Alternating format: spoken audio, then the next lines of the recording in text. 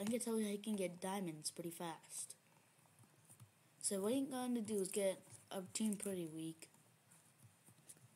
And like if you break things like this thing, let's go something weak. Just do that thing. Let's take some. It sometimes it gives you loot bags, and loot bags they can give you diamonds. Like here, I'm about to show you. Um, I should get diamonds from this. I just got 1.34 thousand diamonds.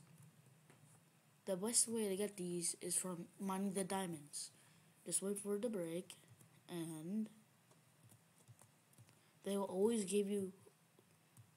Well, not always, but they will give you diamond loot bags.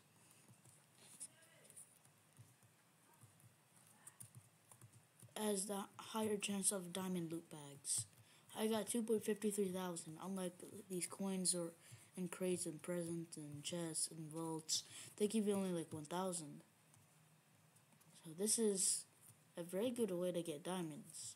If you want to make it better, then you can enchant your pets.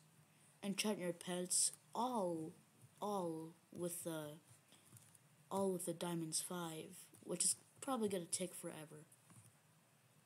Oh my god, me, me, me, me, I want. Yo, yo, yo, yo, yo, yo, yo, no, no. Yo, yo, I want hardcore. Uh, okay, I'll, I'll give you 20 million gems. 20 million gems. Is that good? No.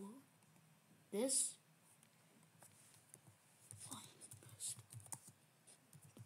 My best bet.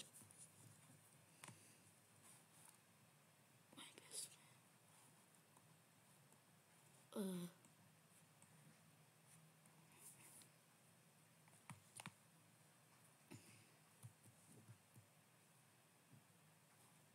Oh, come on. That's literally my whole team. Or I could have given Tech Coins 3 on.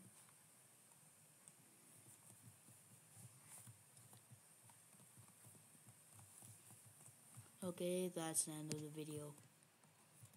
Bye.